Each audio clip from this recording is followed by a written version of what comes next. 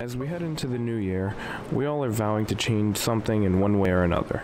But one thing that won't change anytime soon is the way we use social media. It used to be a way to kill a few minutes here and there, or to keep up to date with our closest friends. Now, it's like we use it every waking chance we get.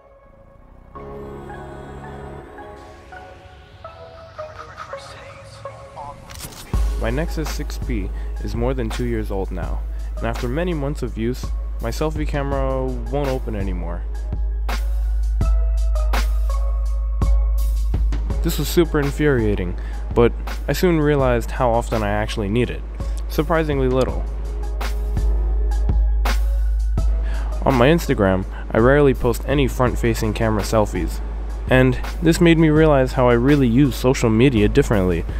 It's pretty well known that Instagram is a place where we post our best moments and put on a mask, a new persona with every shot. A selfie really doesn't do that very well. Worst yet, some people like to delete pictures when they get too old.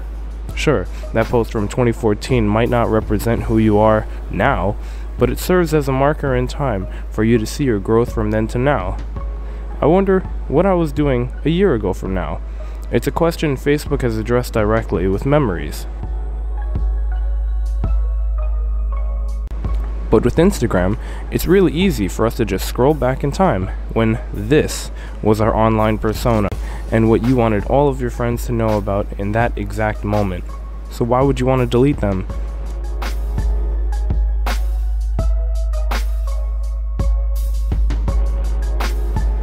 This is even the case for my YouTube channel. Want to hear the mind blowing powers of puberty? Jump back a few years ago and you can listen.